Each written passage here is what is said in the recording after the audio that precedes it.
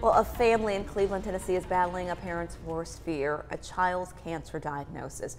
Five-year-old Olivia Weatherford is fighting stage four neuroblastoma. Well, their extended family, friends, and the entire community have surrounded them with support over the past two months since the diagnosis. Channel 3's Allison Pryor found out how the community has gotten involved. Olivia Weatherford, also called Liv, is fun, lively, and spunky. She has two loving parents, Aaron and Sarah, and a younger sister and brother, Ella and Eli. She was first diagnosed with cancer at the beginning of April with initial testing at the Children's Hospital at Erlanger. St. Jude came back accepting their case, which doesn't always happen and and they did accept their case. The whole family packed up and moved to Memphis for Olivia's treatment. What Olivia is facing is very difficult and very hard for any child.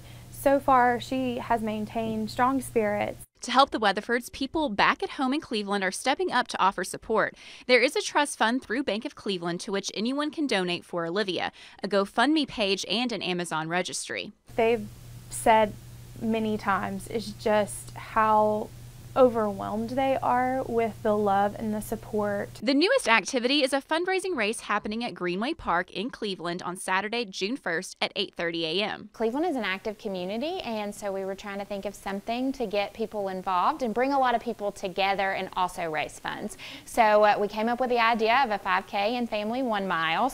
They currently have about 330 people signed up and there is still more time to get involved. All funds raised through the race registration go to the Weatherfords. It's helping them so much. They really do feel the love and that's what we want for this event is most importantly to just bring as many people together so that they can see visually how many people are thinking of them and supporting them. Festivities will last from 8:30 a.m. to 3 p.m. If you can't make it on Saturday, Bethany McCoy said one of the best ways you can support Olivia is by sending a letter. She loves going to the mailroom and, and having cards and letters and pictures to look at. And uh, I would definitely just encourage people to send her letters of encouragement as well as her mom and dad.